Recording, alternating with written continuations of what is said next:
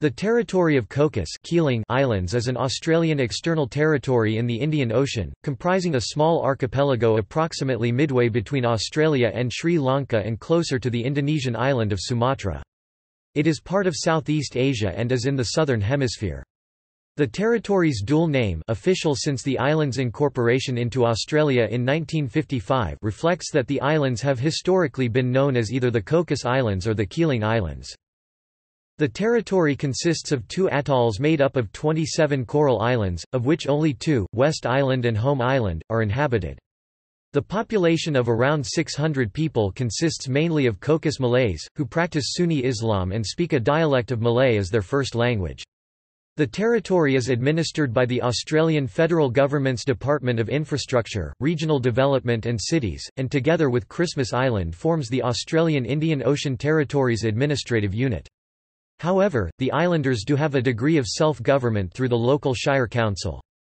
Many public services, including health, education, and policing, are provided by the state of Western Australia, and Western Australian law applies except where the federal government has determined otherwise. The islands were first discovered in 1609 by William Keeling, but no settlement occurred until the early 19th century. One of the first settlers was John Clunies Ross, a Scottish merchant, much of the island S current population is descended from the Malay workers he brought in to work his copra plantation. The Clunies-Ross family ruled the islands as a private fiefdom for almost 150 years, with the head of the family usually recognised as resident magistrate. The British formally annexed the islands in 1857, and for the next century they were officially administered from either Ceylon or Singapore. The territory was transferred to Australia in 1955, although until 1979 virtually all of the island's real estate still belonged to the Clunies-Ross family. Name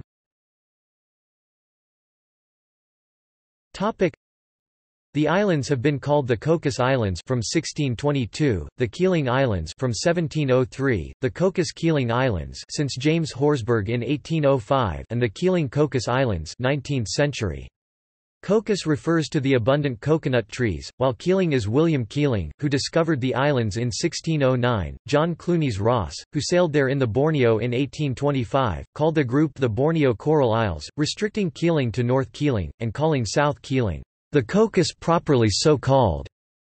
The form Cocos Keeling Islands, attested from 1916, was made official by the Cocos Keeling Islands Act 1955. The territory's Malay name is Pulau Kokos Keeling. Sign boards on the island also feature Malay translations. Topic: Geography. Topic: the Cocos Keeling Islands consist of two flat, low-lying coral atolls with an area of 14.2 square kilometers, 5.5 square miles, 26 kilometers, 16 miles of coastline, a highest elevation of 5 meters, 16 feet, and thickly covered with coconut palms and other vegetation. The climate is pleasant, moderated by the southeast trade winds for about 9 months of the year and with moderate rainfall. Tropical cyclones may occur in the early months of the year. North Keeling Island is an atoll consisting of just one C-shaped island, a nearly closed atoll ring with a small opening into the lagoon, about 50 metres 160 feet wide, on the east side. The island measures 1.1 square kilometers, 270 acres in land area and is uninhabited. The lagoon is about 0.5 square kilometers, 120 acres. North Keeling Island and the surrounding sea to 1.5 kilometers, 0. 93 miles from shore form the Pulu-Keeling National Park, established on 12 December 1995. It is home to the only surviving population of the endemic, and endangered, Cocos buff-banded rail. South Keeling Islands is an atoll consisting of 24 individual islets forming an incomplete atoll ring, with a total land area of 13.1 square kilometres 5.1 square miles. Only Home Island and West Island are populated. The Cocos Malays maintain weekend shacks, referred to as pondiks, on most of the larger islands. There are no rivers or lakes on either atoll.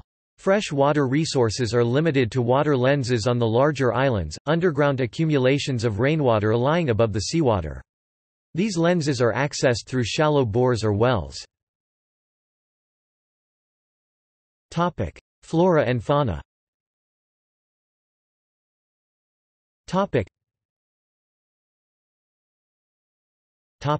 Climate Topic: Cocos Keeling Islands experiences tropical monsoon climate AM according to Köppen climate classification as the archipelago lies approximately in the midway between the equator and the Tropic of Capricorn. The archipelago has two distinct precipitation totals between the wet season and the dry season. The wettest month is April with precipitation total 250.0 mm 9.84 in, while the driest month is October with precipitation total 50.9 mm 2.00 in. The temperature varies a little as its location away from the equator. The hottest month is March with average high temperature 29.8 degrees Celsius (85.6 degrees Fahrenheit), while the coolest month is August with average low temperature 23.6 degrees Celsius (74.5 degrees Fahrenheit). Topic: Demographics. Topic: In 2010, the population of the islands is estimated at just over 600. The population on the two inhabited islands generally is split between the ethnic Europeans on West Island estimated population 100 and the ethnic Malays on Home Island estimated population 500. A Cocos dialect of Malay and English are the main languages spoken, and 80% of Cocos Islanders are Sunni Muslim. History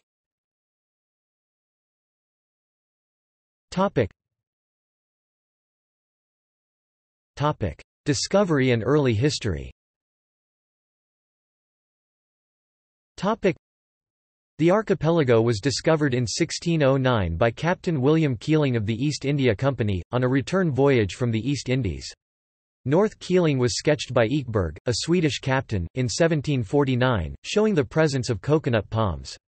It also appears on a 1789 chart produced by British hydrographer Alexander Dalrymple. In 1814, Scottish merchant seaman Captain John Clunies Ross stopped briefly at the islands on a trip to India, nailing up a Union Jack and planning to return and settle on the islands with his family in the future. Wealthy Englishman Alexander Hare had similar plans, and hired a captain, coincidentally, Clunies Ross. S brother, to bring him and a volunteer harem of 40 Malay women to the islands, where he hoped to establish his private residence. Hare had previously served as resident of Banjarmasin, a town in Borneo, and found that he could not confine himself to the tame life that prosy civilization affords. Clunies Ross returned two years later with his wife, children and mother-in-law, and found Hare already established on the island and living with the private harem. A feud grew between the two. Clunies Ross' S-8 sailors began at once the invasion of the new kingdom to take possession of it, women and all. After some time, Hare's women began deserting him, and instead finding themselves mates amongst Clunies Ross' S sailors. Disheartened, Hare left the island. He died in Bencoolen in 1834. Encouraged by members of the former harem, Clunies Ross then recruited Malays to come to the island for work and wives.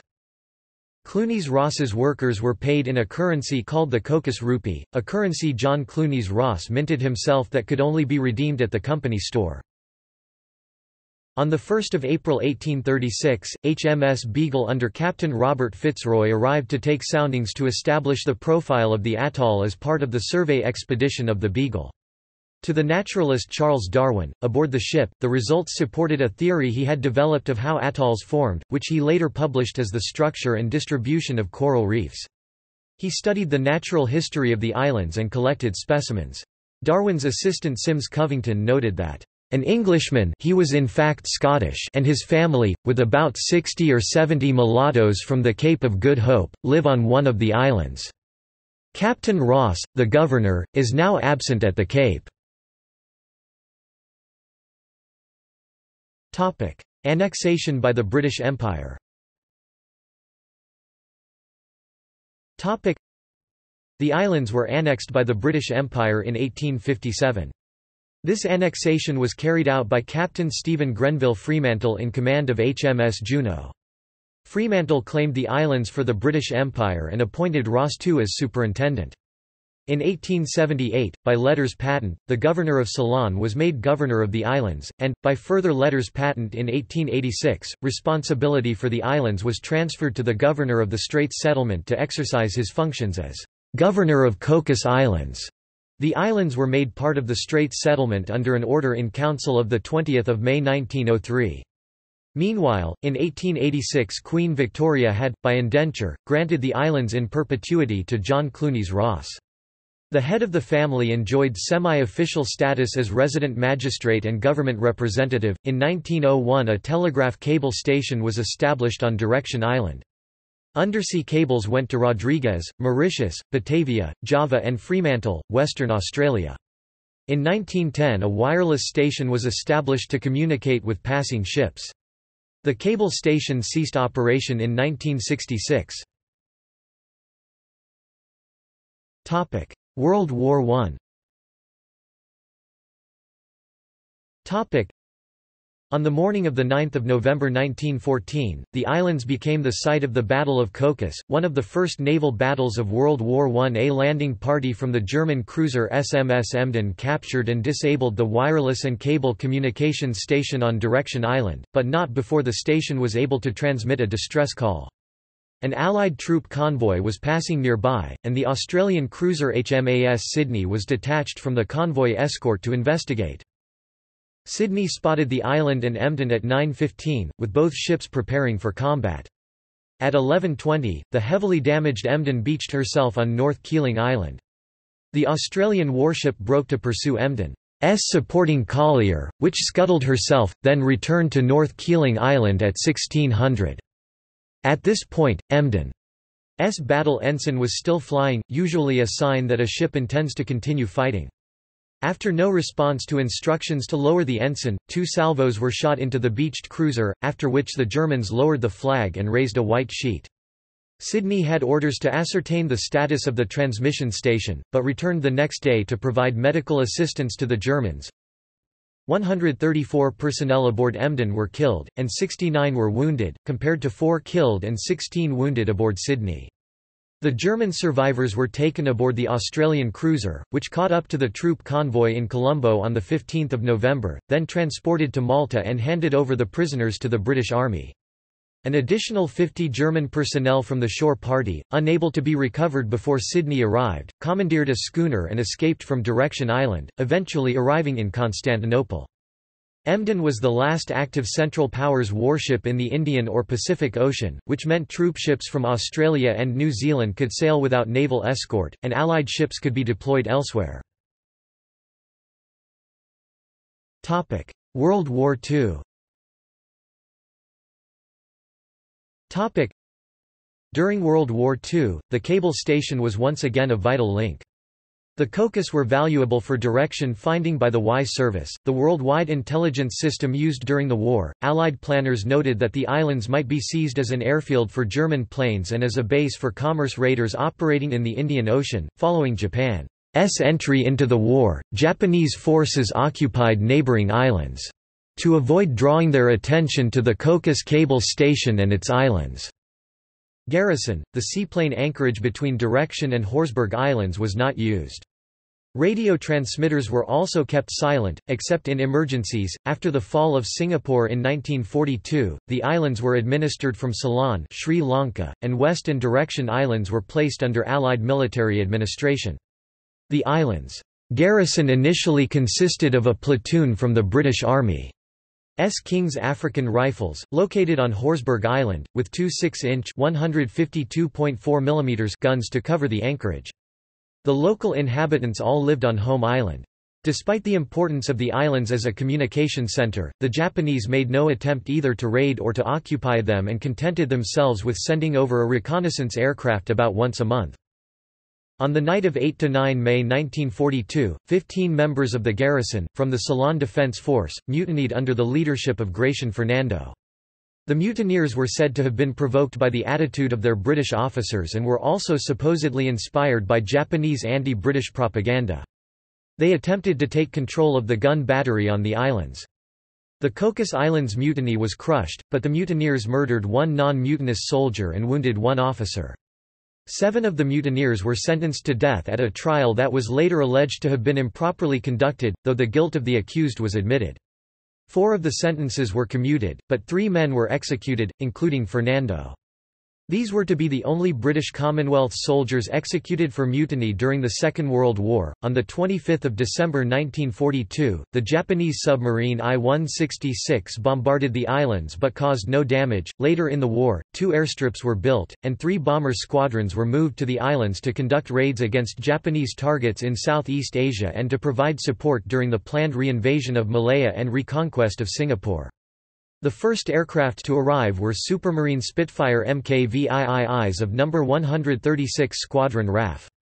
They included some Liberator bombers from No. 321 Netherlands Squadron RAF members of exiled Dutch forces serving with the Royal Air Force, which were also stationed on the islands.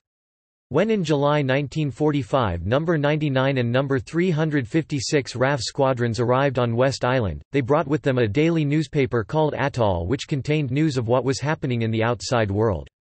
Run by airmen in their off-duty hours, it achieved fame when dropped by Liberator bombers on POW camps over the heads of the Japanese guards.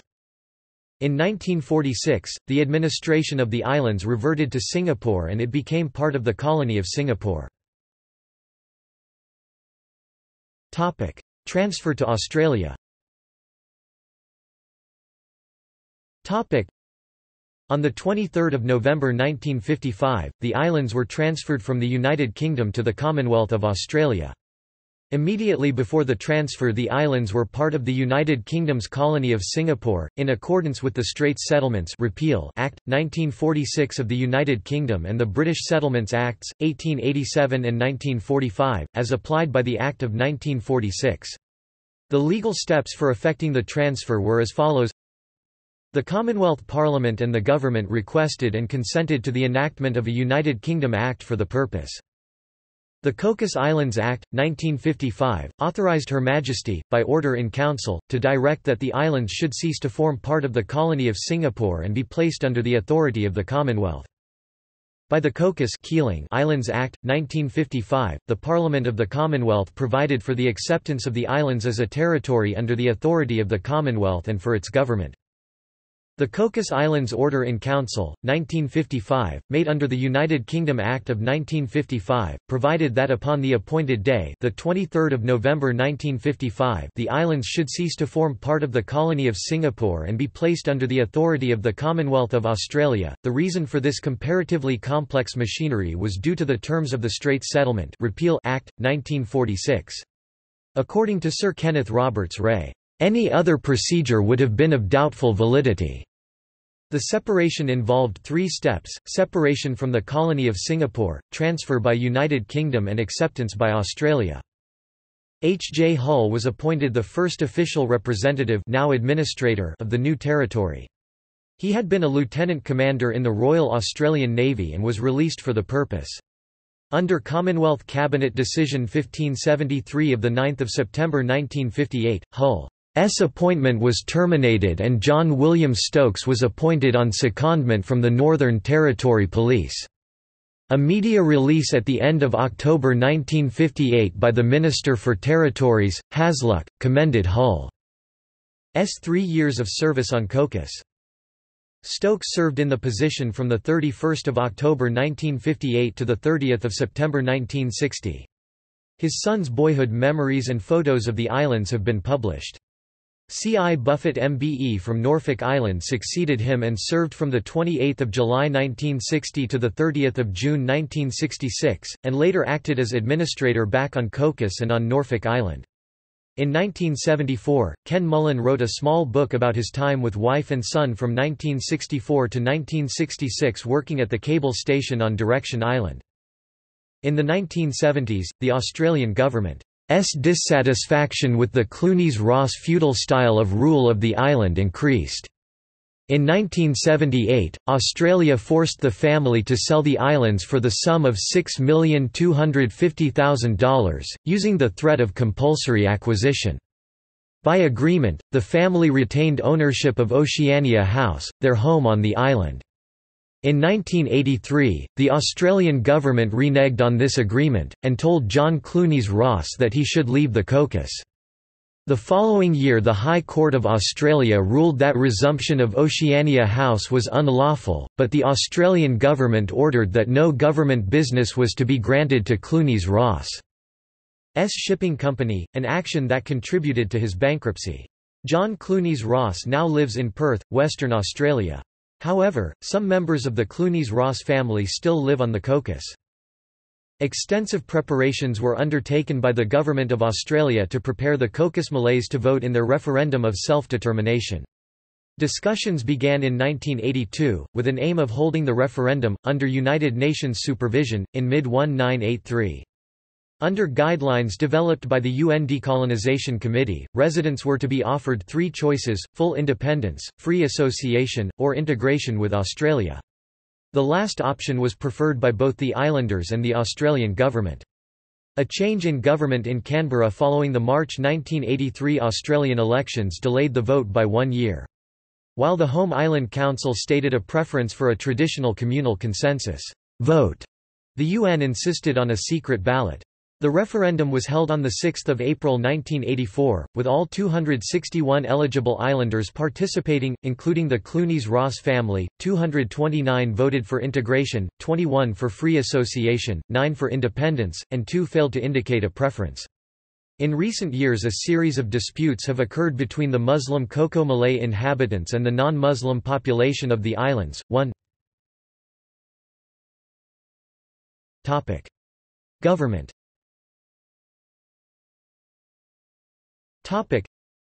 The capital of the territory of Cocos Keeling Islands is West Island while the largest settlement is the village of Bantam Home Island. Governance of the islands is based on the Cocos Keeling Islands Act 1955 and depends heavily on the laws of Australia. The islands are administered from Canberra by the Department of Infrastructure, Regional Development and Cities through a non-resident administrator appointed by the Governor-General. They were previously the responsibility of the Department of Transport and Regional Services before 2007, the Attorney General S Department 2007 to 2013 and Department of Infrastructure and Regional Development 2013 to 2017. The current administrator is Natasha Griggs, who was appointed on the 5th of October 2017 and is also the administrator of Christmas Island. These two territories comprise the Australian Indian Ocean Territories. The Australian government provides Commonwealth-level government services through the Christmas Island Administration and the Department of Infrastructure and Regional Development.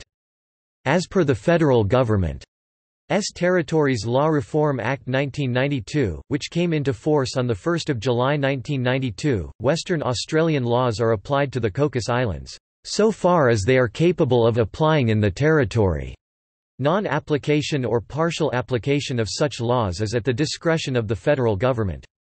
The Act also gives Western Australian courts judicial power over the islands. The Cocos Islands remain constitutionally distinct from Western Australia, however, the power of the state to legislate for the territory is power delegated by the federal government. The kind of services typically provided by a state government elsewhere in Australia are provided by departments of the Western Australian Government, and by contractors, with the costs met by the federal government. There also exists a unicameral Cocos Keeling Islands Shire Council with seven seats. A full term lasts four years, though elections are held every two years, approximately half the members retire each two years. Federal politics Topic Cocos Keeling Islands residents who are Australian citizens also vote in federal elections. Cocos Keeling Islanders are represented in the House of Representatives by the member for the division of Lingiari in the Northern Territory and in the Senate by Northern Territory senators. At the 2016 federal election, the Labour Party received absolute majorities from Cocos electors in both the House of Representatives and the Senate. Topic: Defense and law enforcement Defense is the responsibility of the Australian Defence Force. There are no active military installations or defence personnel on the islands. The administrator may request the assistance of the Australian Defence Force if required. The 2016 Australian Defence White Paper stated that the airfield in the island would be upgraded to support the RAAF's P-8 Poseidon Maritime Patrol aircraft. Civilian law enforcement and community policing is provided by the Australian Federal Police. The normal deployment to the island is one sergeant and one constable. These are augmented by two locally engaged special members who have police powers. Topic: Courts Since 1992, court services have been provided by the Western Australian Department of the Attorney-General under a service delivery arrangement with the Australian Government. Western Australian court services provide Magistrates Court, District Court, Supreme Court, Family Court, Children's Court, Coroner's Court and Registry for Births, Deaths and Marriages and Change of Name Services. Magistrates and judges from Western Australia convene a circuit court as required. Health care Home Island and West Island have medical clinics providing basic health services, but serious medical conditions and injuries cannot be treated on the island and patients are sent to Perth for treatment, a distance of 3,000 kilometres 1,900 miles. Topic: Economy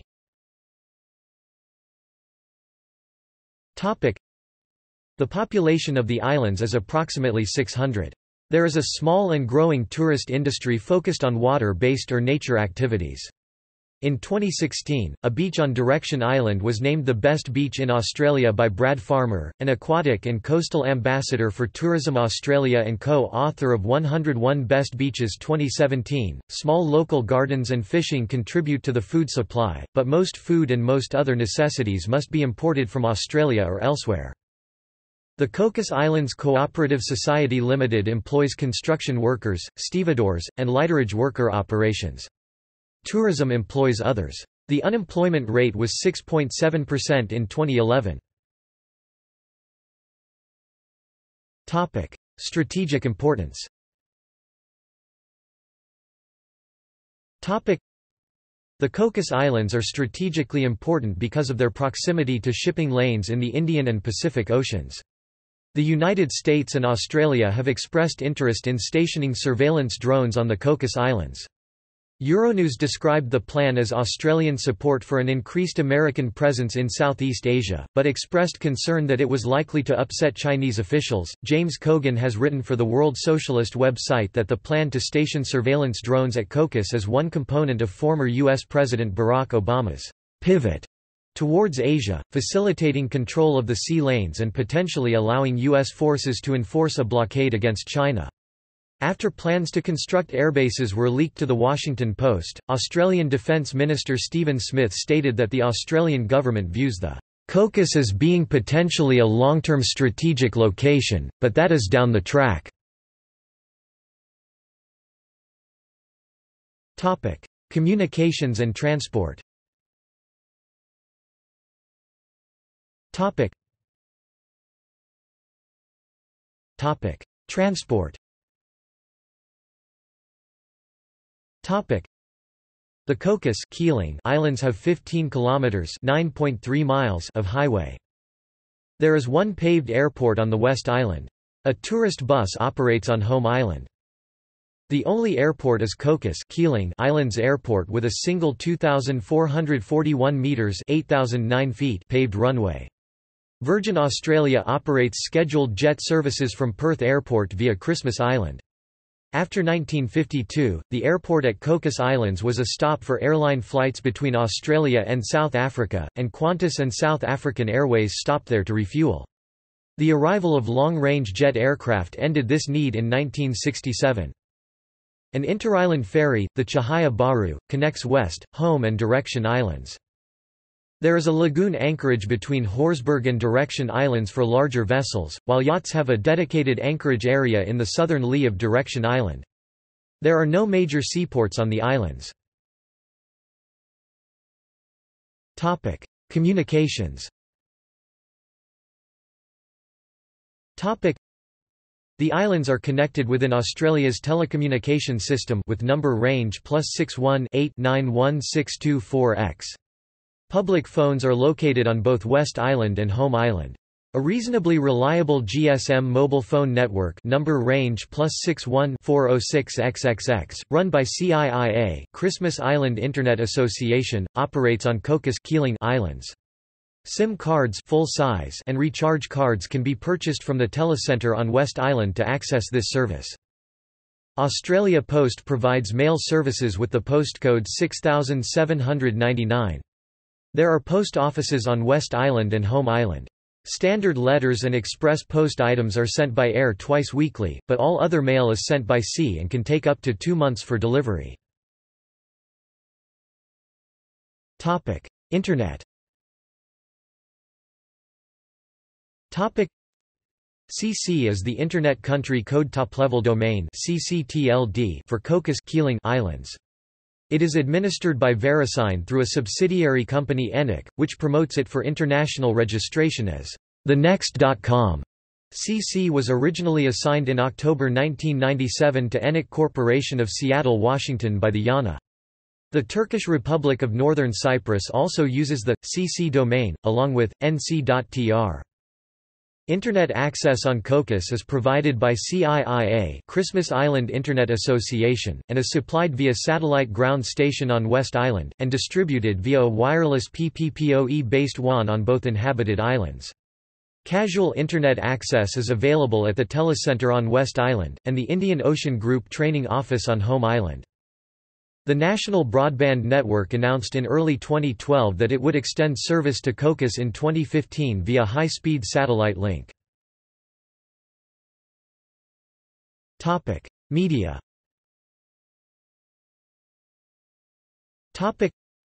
the Cocos Islands have access to a range of modern communication services. Digital television stations are broadcast from Western Australia via satellite. A local radio station, 6CKI, Voice of the Cocos Keeling Islands, is staffed by community volunteers and provides some local content. Topic: Television. Topic. Topic: Australian.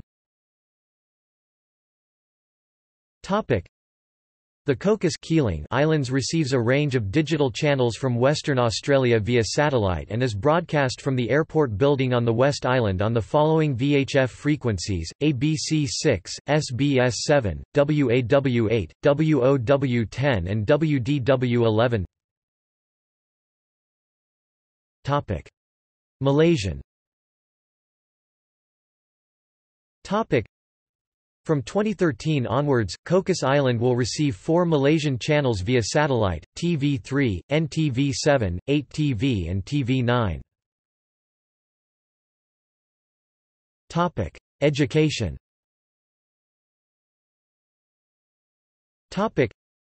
there is a school in the archipelago, Cocos Islands District High School, with campuses located on West Island kindergarten to year 10, and the other on Home Island kindergarten to year 6. CIDHS is part of the Western Australia Department of Education. School instruction is in English on both campuses, with Cocos Malay teacher aides assisting the younger children in kindergarten, pre-preparatory and early primary with the English curriculum on the Home Island campus. The home language of Cocos Malay is valued whilst students engage in learning English. Culture Topic. Gallery. Topic. See also. Topic. Banknotes of the Cocos Keeling Islands. Cocos Malays. Index of Cocos Keeling Islands related articles. King of the Cocos Keeling Islands. Pearl Islands Isla de Cocos, Panama, Cocos Island, Costa Rica References